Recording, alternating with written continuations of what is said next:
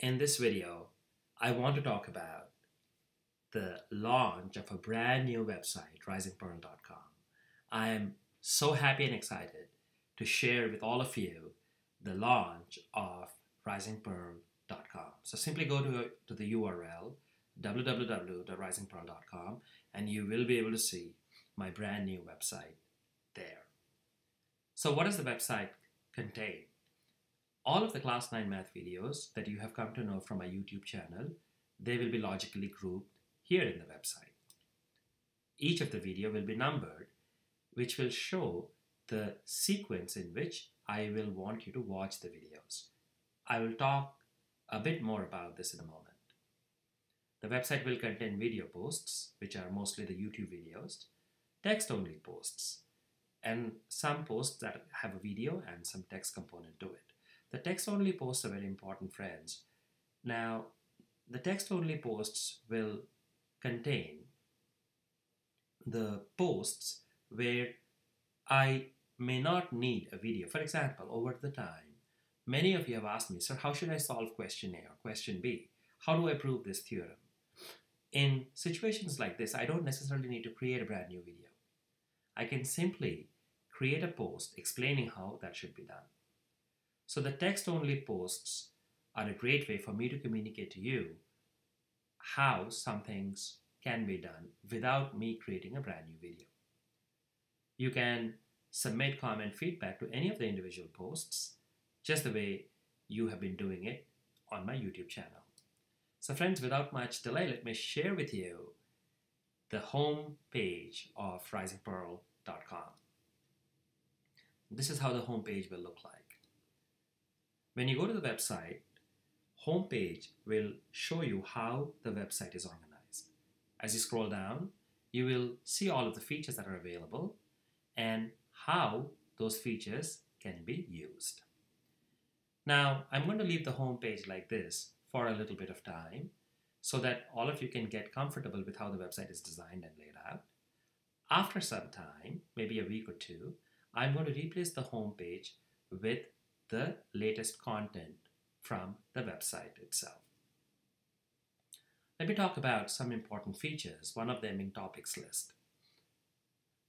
When you click on the three bars at the top left of the navigation, a screen like this will slide out from the left. So here you see this is the topics list. At the very top you see class 9 math and below that you see number system, polynomials, coordinate geometry, so on and so forth. Each one of them is a topic. So class 9 math is a parent topic and below that you have the number systems, polynomials, coordinate geometry, linear equations in two variables, Euclid's geometry, so on and so forth. Each one of them is a topic. Now, if you look at number systems, for example, it has about 47 videos in the YouTube. Now, all of those videos are now grouped together under number systems here. So when you click on number systems here, all of those 47 videos will be listed in order 1, 2, 3, 4 like that under num number systems topic. The same is true for polynomials, coordinate geometry, so on and so forth. So this is how all of the YouTube videos are now logically grouped in one place. This is a work in progress list and I plan to finish this list in the next few days. When you click on any of the topics from the topic list, you will see the list of posts appear like this. So here in this example, I have clicked on the polynomials and I see a list like that. So first thing to notice is the posts are numbered. Now this numbering is done just to give you an idea of the sequence in which I want you to follow the videos or the posts. Logically, you would want to finish watching the posts that are numbered 1 or 2 or 3 before you start watching posts which are numbered, say 8 or 9 or 10. Now, please keep in mind, this is just a guideline and you do not have to follow it because oftentimes maybe you already know what are the number 1 or 2 or 3 posts or you don't have enough time So even um, in those cases, feel free to just jump on to the post that you think is more relevant and just directly watch it. One final thing that I want to talk about here is that the posts are arranged in reverse chronological order. What do I mean by that? It simply means that right now on this screen we are looking at polynomials. All posts under polynomials are listed here. But it is showing the 36 at the top followed by 35 and as you scroll down 34, 33, 32 and towards the very end you will see post number 1. So that is what I mean by reverse chronological order. So it will show you the most latest post first and the oldest post at the very end. Now when you click on any of the posts, what do you see? You will see a screen like this.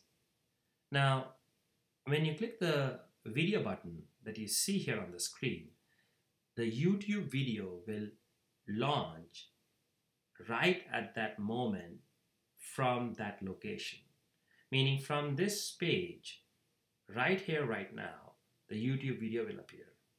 You do not have to go open the YouTube app or open another browser session and watch the video. Simply by clicking on the link here, you will be able to watch the video. Once you're done, feel free to share your comment reply under the leave a reply below. Each of the posts will have a comment area where you will you can reply, share your comment feedback with us. Friends, so I'm so happy to share our brand new website, risingpearl.com, and I strongly encourage you to go check it out and let me know what do you all think about the brand new website. Thank you for watching.